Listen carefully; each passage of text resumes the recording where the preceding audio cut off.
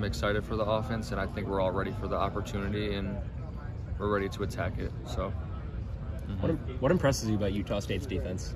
What impresses me? Um, Anything of note that you saw on film? You were just like, hey, we uh, gotta look out for this. I mean, there's a bunch of stuff. I play in the slot mostly, and so like just seeing how they get hands on at certain points is something I have to like really be cognizant about. Is knowing when I get some looks, I'll get hands on, other looks, I'll get free releases and stuff like that. So that's when I'll have to get shifty in there and make my moves and find the guy I really want to run the route on.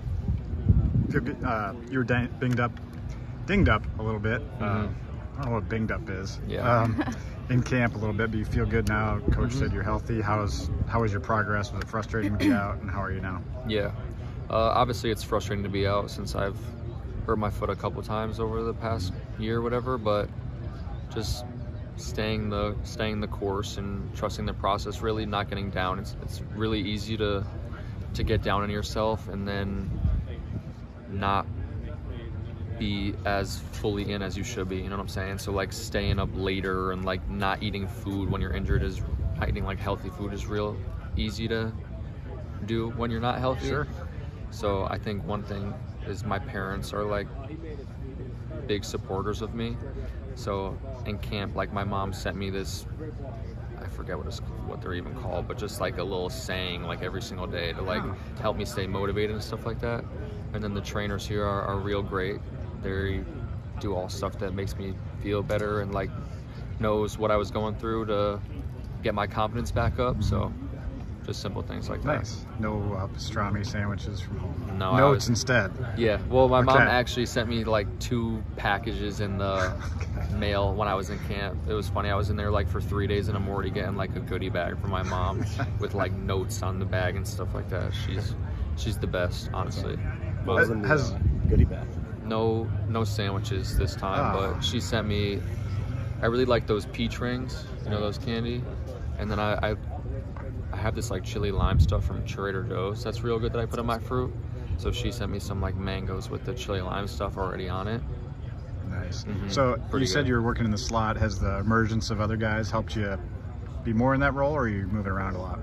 Um, in different packages, we all line up in different spots. I think mm -hmm one thing that's great about our receiver room is we have guys that can line up in all different spots, and I think you'll see that on Saturday with the with the emergence of the wide receiver room. Yeah.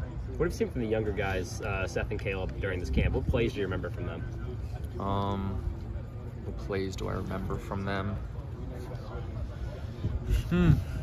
Well, the one play on Kids Day that Seth made, I thought was pretty good. Yeah especially running full speed and then tracking the ball over your shoulder, like arms fully extended. That's mm-hmm. a legit, legit play that a lot of people can't make. People don't really understand how hard it is to look all the way over one shoulder. Seth's pretty good at that. Then your wide sorry, your wide receivers coach said you definitely a leader this year. So how have you grown as a leader over your time here at Iowa? Um, that was one of my goals of this season is to be more of a vocal leader in my past, even in high school, I remember my coaches like being on my ass about not like being vocal, and I try to lead by example. But sometimes you need to be vocal with younger guys to like really get them going. So just trying to step out of my comfort zone a little bit and be as vocal as I can be has been something I was working on this year.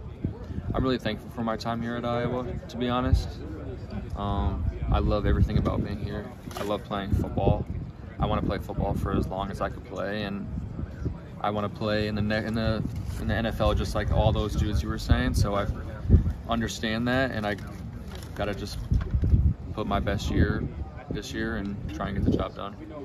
Is it nice to be healthy? I mean, you and Diante, mm -hmm. Connecticut guys there. Yeah. You know, so banged up last year. Yeah. Like, do you feel like a, that's just gonna be alone is gonna be a big help to this offense? Uh, definitely. I feel like even mentally, like for yourself, when you're yeah. not healthy and having to play games, it, it kind of sucks. But I'm feeling pretty good at this point, and I'm I'm just ready to show what we got this Saturday.